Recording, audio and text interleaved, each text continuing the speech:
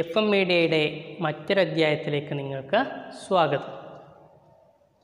ഇന്ന് നമ്മളിവിടെ പറയാൻ പോകുന്ന വിഷയം ഋതുഭേദങ്ങളും സമയവും എന്ന് പറയുന്ന ചാപ്റ്ററിലെ ഏറ്റവും ഇമ്പോർട്ടന്റ് ആയിട്ടുള്ള രണ്ട് കൺസെപ്റ്റുകളെ കുറിച്ചാണ്. ഒന്ന് അന്താരാഷ്ട്ര ദിനാങ്ക രേഖ എന്നുള്ളതും മറ്റൊന്ന് എങ്ങനെ നമുക്ക് സമയം കണക്കാക്കാൻ കഴിയും എന്നുള്ളതിനെ കുറിച്ചാണ്. അപ്പോൾ ഈ രണ്ട് കാര്യങ്ങളെക്കുറിച്ചുമാണ് നമ്മൾ ഇന്നിവിടെ ചർച്ച ചെയ്യാൻ പോകുന്നത്. എന്റെ വീഡിയോ ആദ്യമായിട്ട് കാണുന്ന ആളുകളാണെങ്കിൽ സബ്സ്ക്രൈബ് ചെയ്യുക തൊട്ടടുത്ത് കാണുന്ന ബെല്ലൈക്കൺ കൂടെ നിങ്ങൾ ക്ലിക്ക് ചെയ്യുക. നിങ്ങൾ ഞാൻ അപ്ലോഡ് ചെയ്യുന്ന വീഡിയോകൾ നിങ്ങൾക്ക് വളരെ എളുപ്പത്തിൽ നോട്ടിഫിക്കേഷനായിട്ട് ലഭിക്കുന്നതായിരിക്കും. എങ്കിൽ നമുക്ക് വീഡിയോയിലേക്ക് പോകാം. ഇവിടുന്ന് ഇങ്ങനെ നോക്കുകയാണെങ്കിൽ ഇവിടെ എന്താണ് നൂറ്റി എൺപത്? അതുപോലെ ഇവിടുന്ന് ഇങ്ങോട്ടാണെങ്കിലും നൂറ്റി എൺപത്. അപ്പോൾ ഈ രേഖ എന്ന് പറയുന്നത് എത്രയാണ്? നൂറ്റി എൺപത് ഡിഗ്രിയാണ്. ആണല്ലോ? അപ്പോൾ ഇവിടുന്ന് ഇങ്ങോട്ടുള്ള ടൈമും ഇവിടുന്ന് ഇങ്ങോട്ടുള്ള ടൈമും നമ്മൾ കണക്കാക്കുമ്പോൾ ഈ രേഖയിൽ വരുന്ന ടൈം എന്ന് പറയുന്നത് ഒരേ ടൈമാണ് അപ്പോൾ നിങ്ങളുടെ ടെക്സ്റ്റിലെ പതിനാറാമത്തെ പേജിൽ ഒരു പട്ടിക കാണുന്നുണ്ടാവും. ഈ പട്ടിക നിങ്ങളൊന്ന് ശ്രദ്ധിക്കാം. എന്നിട്ട് ഈ പട്ടിക ചെയ്ത് നോക്കിയാലാണ് നമുക്കതുമായി ബന്ധപ്പെട്ട ബാക്കി കാര്യങ്ങൾ പറയാൻ പറ്റും. അതായത് ഗ്രീനിച്ച് രേഖയിലെ ടൈം എന്ന് പറയുന്നത് തിങ്കളാഴ്ച രാവിലെ പത്ത് മണിയാണ്. അതുപോലെ ഗ്രീനിച്ചിൽ നിന്ന് പടിഞ്ഞാറോട്ടും ഗ്രീനിച്ചിൽ നിന്ന് കിഴക്കോട്ടും കൊടുത്തിട്ടുണ്ട്. അത് പതിനഞ്ച് ഡിഗ്രി മുതൽ നൂറ്റി എൺപത് ഡിഗ്രി വരെ കൊടുത്തിട്ടുണ്ട്. ഇപ്പുറത്തും പതിനഞ്ച് ഡിഗ്രി മുതൽ നൂറ്റി എൺപത് ഡിഗ്രി വരെ കൊടുത്തിട്ടുണ്ട്. അപ്പോൾ നമുക്കറിയാം ഓരോന്നിനും എന്താണ് ഓരോ പതിനഞ്ച് ഡിഗ്രിക്കും ഒരു മണിക്കൂർ വ്യത്യാസം എന്ന് പറയുന്നുണ്ട്. അപ്പോൾ ഗ്രീനിച്ചിൽ നിന്ന് പടിഞ്ഞാറോട്ട് നമുക്കറിയാം പതിനഞ്ച് ഡിഗ്രിക്ക് ഒരു മണിക്കൂർ വെച്ച് എന്ത് ചെയ്യാണ് കുറയുകയാണ് അല്ലേ? നമ്മൾ പറഞ്ഞിട്ടുണ്ട് ഒരു ഡിഗ്രിക്ക് നാല് മിനിറ്റ് വെച്ച് കുറയാണ് പടിഞ്ഞാറോട്ടാണെങ്കിൽ ഗ്രീനിച്ചിൽ നിന്ന്. കിഴക്കോട്ടാണെങ്കിൽ കൂടുകയാണ്. അപ്പോൾ ഇവിടെ നമ്മൾ എഴുതിയിട്ടുണ്ട് പതിനഞ്ച് ഡിഗ്രി തിങ്കൾ രാവിലെ ഒൻപത് മണി. മുപ്പത് ഡിഗ്രി ആണെങ്കിൽ തിങ്കൾ രാവിലെ എട്ട് മണി. നാൽപ്പത്തിയഞ്ചാണെങ്കിൽ ഏഴ് അറുപതാണെങ്കിൽ ആറ് എഴുപത്തഞ്ചാണെങ്കിൽ അഞ്ച്. അങ്ങനെ പോയി നൂറ്റി എൺപത് ആകുമ്പോൾ പത്ത് മണിയാവും. അതായത് രാത്രി പത്ത് മണി.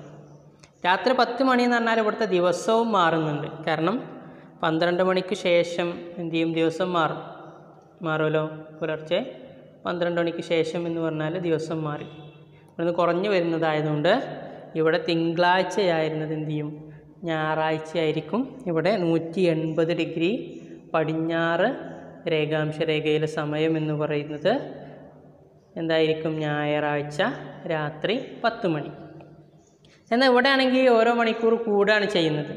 അങ്ങനെ പതിനഞ്ച് ഡിഗ്രിയിൽ നിങ്ങൾ രാവിലെ പതിനൊന്ന് മണി രാവിലെ പന്ത്രണ്ട് പിന്നെ ഒന്ന് രണ്ട് മൂന്ന് നാല് അങ്ങനെ രാത്രി പത്ത് മണിയാണ്. അപ്പോൾ ഇവിടെ തിങ്കളാഴ്ച രാത്രി തന്നെയാണ് പത്ത് മണി. ദിവസം മാറാനില്ല. കാരണം ഇവിടെ രാവിലെയാണ് തുടങ്ങുന്നത്. അല്ലേ? അപ്പോൾ ഇവിടെ തിങ്കളാഴ്ച ഇവിടെ ഞായറാഴ്ച. അപ്പോൾ നൂറ്റി എൺപത് ഡിഗ്രി രേഖാംശരേഖ കടന്നു പോകുന്ന സ്ഥലത്ത് ഇപ്പോൾ നമ്മൾ ഈ പറയുന്ന ഈ രേഖയിൽ സമയം ഒന്നാണ്. ഒരേ സമയമാണ്. എത്രയാണ്? രാത്രി പത്ത് മണിയാണ്. പക്ഷേ ദിവസം വ്യത്യാസമുണ്ട്. പടിഞ്ഞാറാണെന്നുണ്ടെങ്കിൽ എന്തായിരിക്കും? ഞായറാഴ്ച രാത്രി പത്ത് മണി. ഇവിടെ കിഴക്ക് ഭാഗത്താണെങ്കിൽ എന്തായിരിക്കും? രാത്രി പത്ത് മണി. ദിവസം ഏതാണ്? തിങ്കളാഴ്ച. അപ്പോൾ ഇവിടെ ഞായറാഴ്ച ഇവിടെ തിങ്കളാഴ്ച. അപ്പോൾ ഒരേ രേഖയിൽ നൂറ്റി എൺപത് ഡിഗ്രി രേഖാംശ രേഖയിൽ ഇരുപത്തിനാല് മണിക്കൂർ വ്യത്യാസത്തിൽ ഒരേ സമയം രേഖപ്പെടുത്തുമ്പോൾ ഒരുപാട് ബുദ്ധിമുട്ടുകളുണ്ട്. ആ ബുദ്ധിമുട്ടുകൾ പരിഹരിക്കാൻ വേണ്ടിയിട്ട് പസഫിക് സമുദ്രത്തിലെ ബെറിങ് കടലെടുക്കിന്റെ ചില ഭാഗങ്ങളൊക്കെ ഒഴിവാക്കി ദ്വീപുകളൊക്കെ ഒഴിവാക്കി നമ്മളെന്താണ് ഒരു സാങ്കല്പിക രേഖ ഡോട്ടഡ് ലൈൻസ് നമ്മൾ എന്ത് ചെയ്തിട്ടുണ്ട്? ക്രിയേറ്റ് ചെയ്തിട്ടുണ്ട്. ആ രേഖ മുറിച്ച് കടന്ന് പടിഞ്ഞാറോട്ട് പോകുന്ന സഞ്ചാരികൾ എന്ത് ചെയ്യുക? ഒരു ദിവസം അവരുടെ കലണ്ടറിൽ കൂട്ടുകയും കിഴക്കോട്ട് പോകുന്ന ആളുകൾ എന്ത് ചെയ്യുക? അവരുടെ കലണ്ടറിൽ ഒരു ദിവസം കുറക്കുകയും ചെയ്തിട്ട് എന്ത് ചെയ്യുക? സമയം കണക്കാക്കണം. ഈ രേഖയെയാണ് നമ്മൾ എന്ത് പറയുന്നത്? അന്താരാഷ്ട്ര ദിനാങ്ക രേഖ എന്ന് പറയുന്നത്. അപ്പോൾ രേഖ മുറിച്ച് കടന്നപ്പോൾ നമ്മൾ പറഞ്ഞു എന്താണ്? ഇവിടെ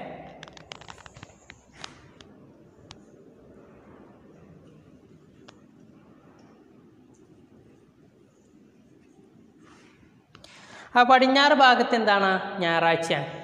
ഈ പടിഞ്ഞാറ് ഭാഗത്തുള്ള ആൾ നൂറ്റൻപത് ഡിഗ്രി രേഖാംശ രേഖയിൽ ലോഞ്ചിറ്റ്യൂഡിൽ എത്തുന്ന സമയത്ത് ഇപ്പുറത്തേക്ക് കടക്കുമ്പോൾ ഇവിടെ തിങ്കളാഴ്ചയാണ്.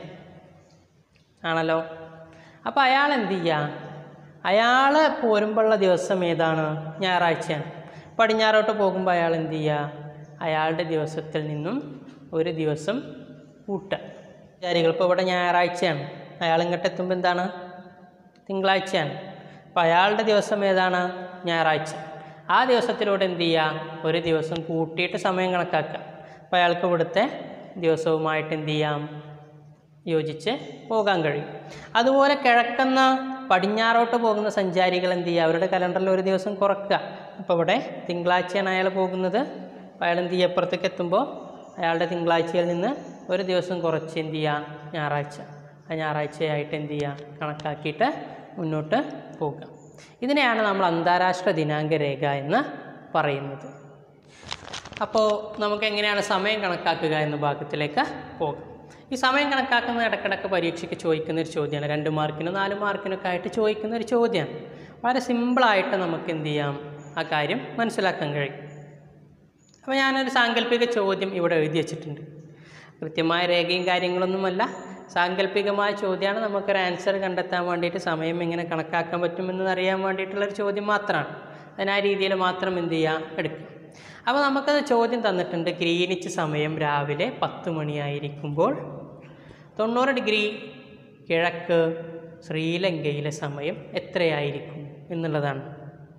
നമ്മൾ മുന്നേ പഠിച്ചിട്ടുണ്ട് ഒരു ഡിഗ്രിക്ക് നാല് മിനിറ്റാണ് ഡിഫറൻസ് വരുന്നത്. അത് കിഴക്കോട്ടാണെങ്കിൽ നാല് മിനിറ്റ് കൂടും. പടിഞ്ഞാറോട്ടാണെങ്കിൽ നാല് മിനിറ്റ് കുറയും. ഇവിടെ നമുക്കറിയാം നമ്മളോട് ചോദിച്ചിട്ടുള്ളത് ഈസ്റ്റാണ് കിഴക്കിലെ സമയമാണ് അപ്പോൾ സമയം എന്തായിരിക്കും? കൂടാണ് ചെയ്യുക അല്ലേ? അപ്പോൾ നമുക്കതെങ്ങനെ കണക്കാക്കുക എന്നുള്ളത് നോക്കാം. ഈ സീറോ ഡിഗ്രിയിൽ നിന്ന് ഈ തൊണ്ണൂറ് ഡിഗ്രിയിലേക്കുള്ള ഡിസ്റ്റൻസ് എന്ന് പറയുന്നത് എത്രയാണ്? തൊണ്ണൂറ് ഡിഗ്രിയാണ് അല്ലേ? തൊണ്ണൂറ് അപ്പോൾ വ്യത്യാസം എന്ന് പറയുന്നത് എത്രയാണ്? നാല് മിനിറ്റാണ്. അപ്പോൾ മുന്നൂറ്റി അറുപത് മിനിറ്റാണ് എന്തുള്ളത്? വ്യത്യാസം വരുന്നത്. ഇപ്പോൾ ഗ്രീനിച്ചിൽ പത്ത് മണിയാകുമ്പോൾ ഇവിടെ മുന്നൂറ്റി അറുപത് മിനിറ്റ് വ്യത്യാസം വരുന്നുണ്ട്. അത് കിഴക്കായതുകൊണ്ട് മുന്നൂറ്റി അറുപത് മിനിറ്റ് കൂടുന്നു എന്ന് നമുക്ക് മനസ്സിലാക്കാം.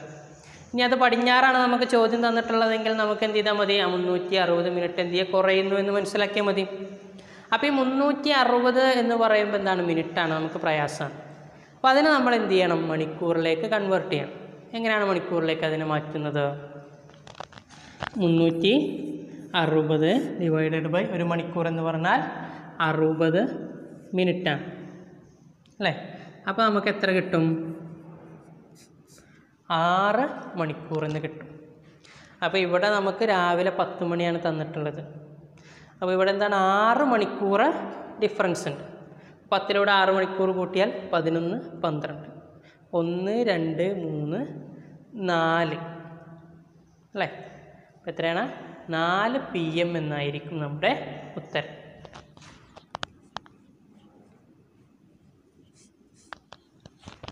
കാരണം എന്താണ്?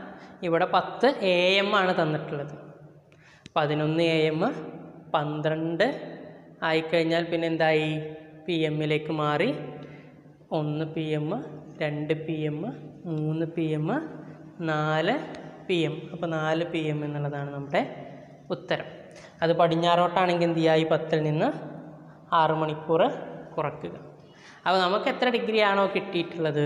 അത് കൂട്ടാനാണോ കുറക്കാനാണോ എന്നുള്ളതാണ് നമ്മൾ ആദ്യം ശ്രദ്ധിക്കേണ്ടത്. അതിന് നമ്മൾ എന്ത് ചെയ്താൽ മതി?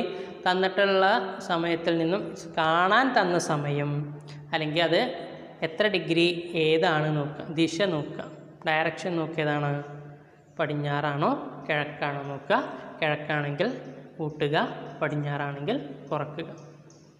അപ്പോൾ ഇത്തരത്തിലുള്ള രണ്ടോ മൂന്നോ ചോദ്യങ്ങൾ നിങ്ങൾ സ്വയം ക്രിയേറ്റ് ചെയ്തിട്ട് എന്ത് ചെയ്യുക? ചെയ്യുക.